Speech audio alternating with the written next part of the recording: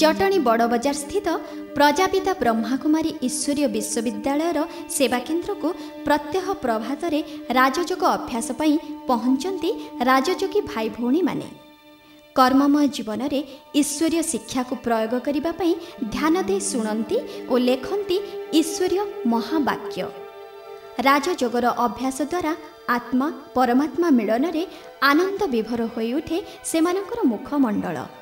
ଘର ଗୃହସ୍ଥରେ ରହି ସମାଜର ସମସ୍ତ ଦାୟିତ୍ୱକୁ ସୁଚାରୁ ରୂପେ ତୁଲାଇ କମଳ ପୁଷ୍ପତୁଲ୍ୟ ଜୀବନ ବ୍ୟତୀତ କରୁଥିବା ଭାଇ ଭଉଣୀମାନେ ନିଜ ମଧ୍ୟରେ ଜ୍ଞାନ ଗୁଣ ଓ ଶକ୍ତିରେ ଭରପୁର ହୋଇ ଫେରନ୍ତି କର୍ମସ୍ଥଳୀକୁ। ସହର ବ୍ୟତୀତ ବିଭିନ୍ନ ଗ୍ରାମରେ ଜ୍ଞାନ ଲୋକ ଦ୍ୱାରା ଅନେକ ଜୀବନକୁ ସତ୍ ମାର୍ଗରେ ଚଳାଇବାରେ ସଫଳ ହୋଇଛି ଏହି ସେବା କେନ୍ଦ୍ର।